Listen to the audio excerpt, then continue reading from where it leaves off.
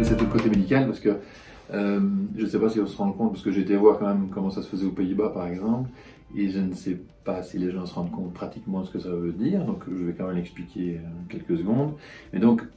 jusqu'à 22 semaines, donc on, ici on parle de 20 semaines d'aménorrhée, donc 22 semaines c'est la même chose, hein, enfin à quelques jours près, mais la manière dont ça se passe aux Pays-Bas jusqu'à 20 semaines, c'est donc on dilate le col mécaniquement avec une, un dilatateur jusqu'à 1,5 cm,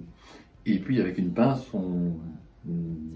arrache le morceau du bébé pour qu'il passe dans 1,5 cm, en sachant que la tête fait 4 cm, donc il faut l'écraser pour qu'elle passe par ce petit trou d'un centimètre et demi. Donc déjà ici on n'a pas le matériel pour, donc il faut des formations, parce que vraiment on ne sait pas le faire ici, on le fait de manière vraiment exceptionnelle, et donc c'est vraiment quelque chose d'extrêmement compliqué pour les praticiens aussi.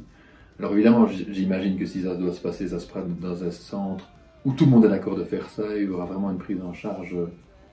spécifique pour ces patientes-là, mais euh, pratiquement, enfin il faut quand même se rendre compte, c'est un bébé de 400 grammes qui fait 20, 20 cm et qui va devoir passer dans un petit trou d'un centimètre et demi par morceau. Je veux dire, c'est vraiment ça, l'embryotomie, c'est ça. L'avortement à 20 semaines, c'est ça, c'est tirer des morceaux de bébé morceau par morceau et d'être sûr qu'il est complet à la fin, faire une échographie être sûr qu'on n'ait pas oublié un morceau à. Il y a vraiment. Euh, alors quand on le fait tous les jours, ça doit être plus facile, mais il y a vraiment un côté technique médical.